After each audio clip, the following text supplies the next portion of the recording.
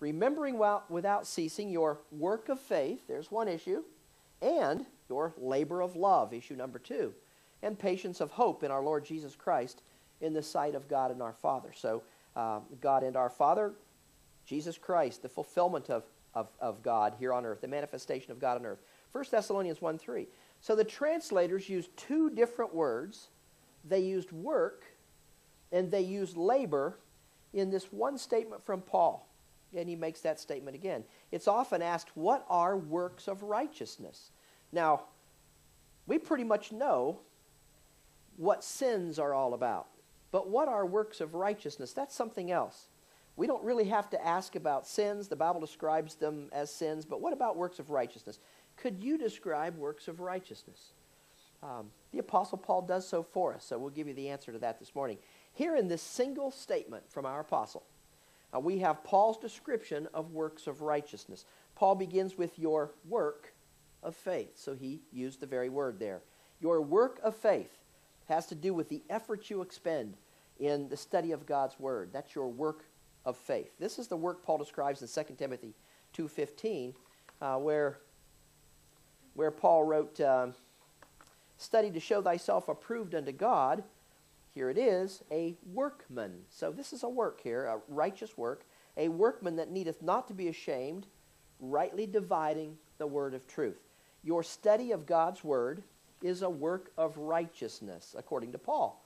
The question we might ask ourselves in connection with this work of righteousness is do I take the time? Do I take the time to study God's Word? There are a lot of folks who say they study God's Word, they study the Bible, but understand, studying the Bible is not simply reading the Bible, not reading, even reading the Bible through. You could read the Bible all day long, you could listen to others read it, but if you ignore the part of Paul's sentence there that follows the comma in that sentence, the part about rightly dividing it, you're not really a, a, worthy workman in the word of truth. Uh, there are many Bible readers out there, but very few Bible studiers, and fewer yet who rightly divide the word of truth when they study. You say study takes effort. Uh, study takes time. Study involves engaging the brain, and well, I, I just don't have a lot of spare time uh, to get into that involved type of study. And besides, I really have difficulty figuring out how to rightly divide it. I've heard those things many times. This is why God's design calls for Bible teachers, for pastor teachers. Uh, you've taken the time to be here this morning. Uh, others are taking the time to listen in by way of uh, the media ministry, the internet, or by, um, by the tapes that are mailed to them. So, listening and learning is an aspect of your work of faith uh, which is a work of righteousness according to the Apostle Paul. This is, understand, this is not something unique to the age of grace. Uh, study the Word of God, uh, study of the Word of God, I should say, was a work of righteousness even in God's program with Israel. Listen to Moses describe a work of righteousness where the nation Israel was concerned. In Deuteronomy chapter 6, beginning with verse 6. Now, this is going to be Israel's a work of righteousness for Israel. And these words which I command thee this day shall be in thine heart, and thou shalt teach them diligently unto thy children, and shalt talk of them when thou sittest in thine house, and when thou walkest by the way, and when thou liest down, and when thou risest up. And thou shalt bind them upon thy, thine hand, and they shall be as frontlets between thy, thy, thine eyes and thou shalt write them upon the posts of thy house and on thy, gates. Was God's word important uh, to the nation Israel? Was Israel to understand uh, the words of the law? Absolutely, they were to know it. Um, their understanding of the law was a work of righteousness for those folks. Uh, it was a most important work of righteousness for Israel because God gave them that law uh, to be their schoolmaster.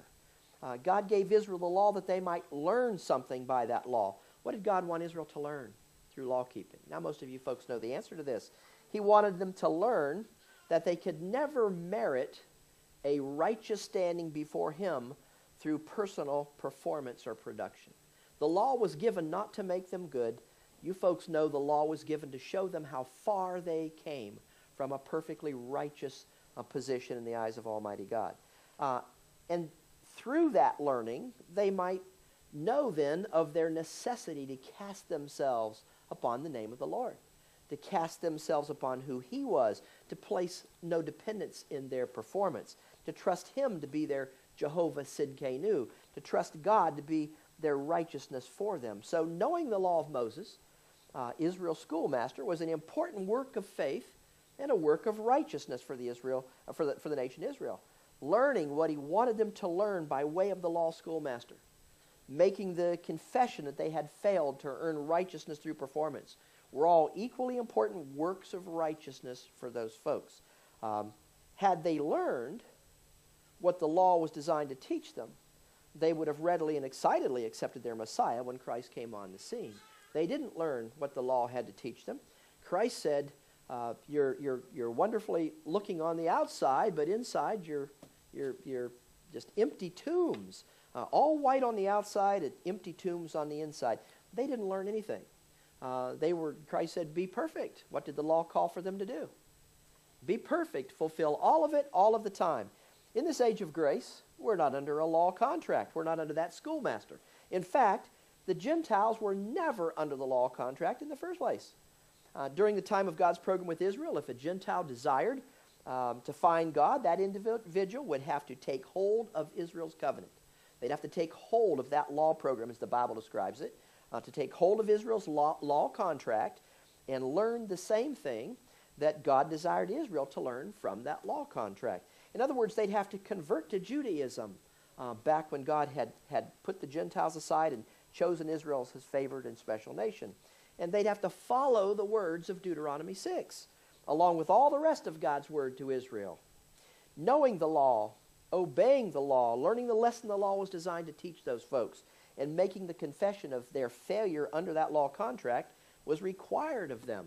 And uh, that also included taking part in John's baptism uh, John's baptism with water uh, for the remission of their sins when that came along. These were all parts of Israel's work of faith, believing what God wanted them to, to believe, doing what God wanted them to do in accordance with the law contract.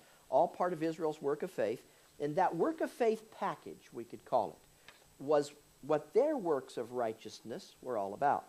Understand your work of faith today, in this age of grace, is different from Israel's, and that you were never told uh, to teach the law to your children.